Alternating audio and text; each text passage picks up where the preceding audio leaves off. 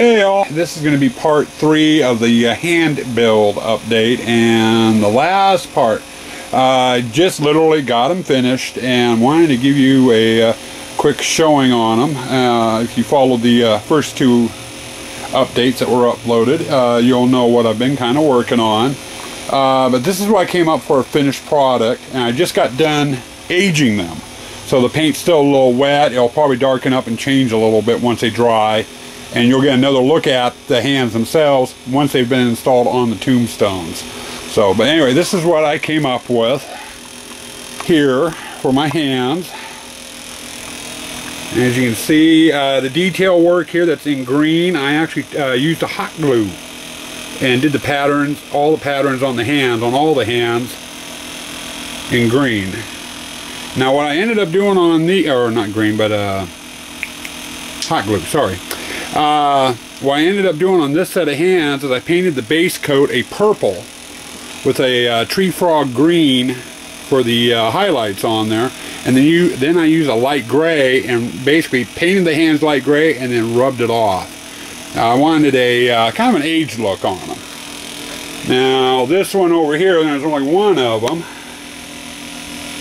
was done with cream, kind of a flesh tone cream as a base and as you can tell, red for the details.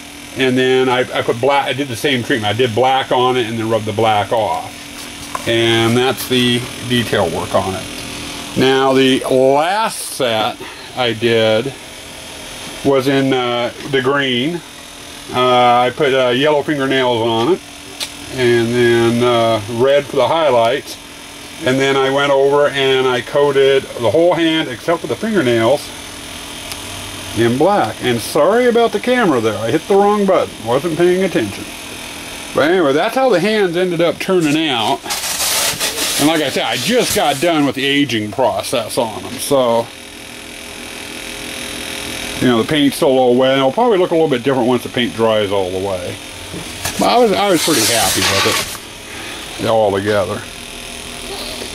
But uh, anyway, uh, as to the coating, on the hands themselves, uh, I tried corpsing them to start with. Didn't like the look of it. Uh, I tried using uh, Halloweenville, Josh's uh, toilet paper idea, and I'm going to have to work with that a bit because that didn't turn out at all the way I wanted. The uh, I, don't, I don't think I wrung enough water out of the toilet paper before I mixed the glue and joint compound into it because it didn't come out right. Uh, and I really didn't like the look of it, and it was just making the hands way too heavy for my for what I wanted to use them for. Uh, so the third way was I just did regular paper mache, and I only put one layer of paper mache over the hands. Uh, I was thinking about doing several layers, and for what I'm going to be using them for, and everything else, and with the uh, support, the wire, and the rolled newspaper and stuff underneath of it, and what have you.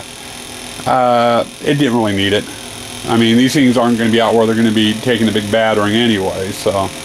But I ended up just using regular paper mache on it. But uh, if you like what you see, uh, if you like the project, you have any questions or anything, uh, please leave a comment down below or send me an email on YouTube and I'll uh, get back to you.